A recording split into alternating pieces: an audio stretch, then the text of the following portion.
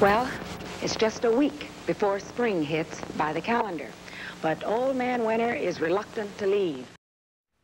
Today is National Weather Person's Day, a day meant to highlight important figures in the weather community, and it's also Black History Month, and today we're celebrating both by talking about June Bacon-Bercey.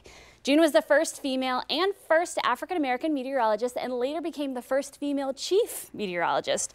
June was born and raised in Wichita, Kansas in 1928, where she received her first degree in mathematics. She then moved west and started her meteorology degree at UCLA in 1954 her college counselor uh, told her on the first day uh, that this honors math student, my mom, should pursue uh, a major in home economics uh, and, for, and not pursue what was clearly a futile pursuit uh, to get a meteorology degree for what reason?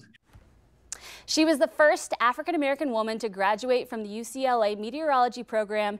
And after a brief time working at the National Weather Service, she went back to school again, this time at NYU. She studied, studied journalism.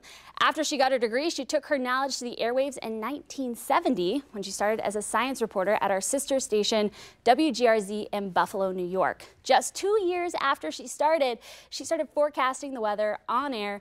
And four months after that, she became the chief meteorologist. I didn't want to because at that time weathercasters, female weathercasters were were doing weather in a way that they would grab the public's attention by playing ukuleles and doing all little silly and absurd things. So I didn't want to do it. But they prevailed upon me and I agreed and I loved it afterwards and became a television weathercaster. After her time at WGRZ, June went on to work for the National Oceanic and Atmospheric Administration. She also helped create scholarships for minorities in meteorology and helped to fund the Jackson State Meteorology Program in Mississippi.